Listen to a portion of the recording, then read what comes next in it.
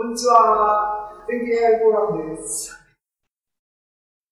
えー、全景 AI フォーラムの4月の回。2021年4月、今日は28日です。えー、っと、OK, OK, OK, OK. じゃあ、そういう世界で生きていこうと思ったら、つまり、C で書く for ループ、つまり i イコール0とかっていう書く方法は、何でも対応できるし、自分がやりたいようにいくらでもカスタマイズできる方法で、Python 流の 4v in my list とかっていう書き方っていうのは、すごい制限された、まあ俳句みたいなもんだと思えばですね。で、そういうすごい限定された for ループの中で、これやりたい、あれやりたいっていう風になった時にできないじゃないかっていう問題がたくさんあるよっていうのに、今このネッドさんはいろいろ答えていて、インデックス i がどうしても必要になった時は、 enumerate っていう関数を使いましょう。その他のシチュエーションでよくあるのはっていうと、二つのリストが独立なものがあって、今の場合は、名前のリストと高さのリスト。これはビルの名前とそのビルの高さが独立のリストに、二つのリストになっているときに、名前と高さを一緒に取り出すような for loop を書きたいときに、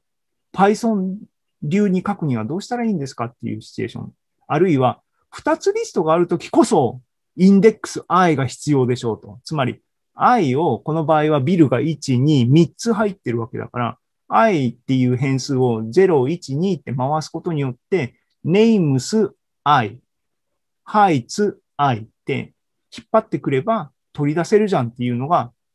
ここのスライドに書いてあることなんですね。でもこれは Python 的にはバッドな方法ですよって言ってて、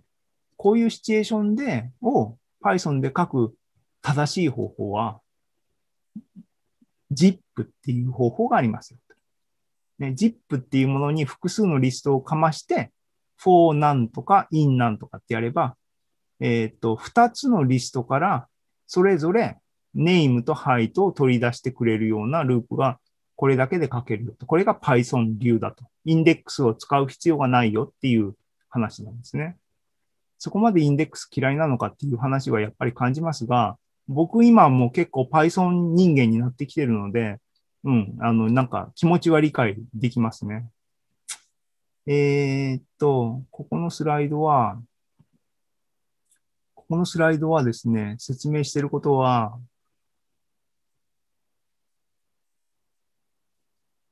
この一個前はなんだ？今どこだったっけ？これか。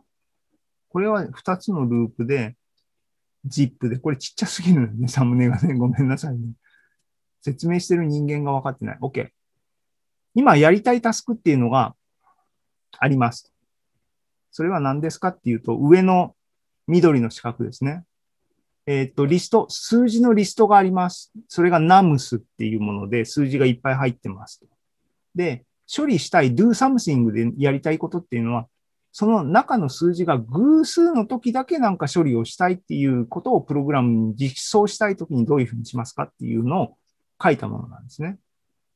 で、これは一見1、2、3、4行で書いているもので、これはすごいスマートでいい書き方な気がしますけども、ネッドさんは、これはノンノンと良くないと言ってるんですね。